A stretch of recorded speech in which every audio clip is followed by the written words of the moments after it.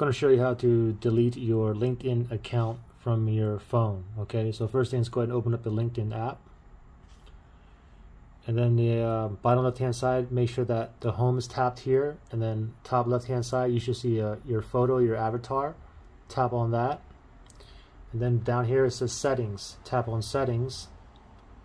And now from here, we want to tap on account preferences. Now scroll all the way up till we get to the very bottom here. It says close account.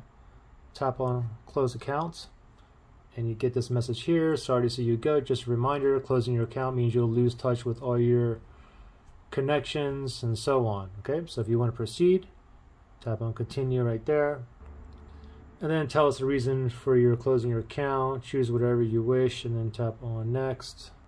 And you can write something there or just go ahead and tap on actually you gotta type in something so I just put in don't need. I'm not gonna enter my password to close the account.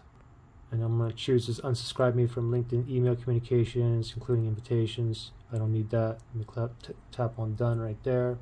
And voila it's closed. Pretty simple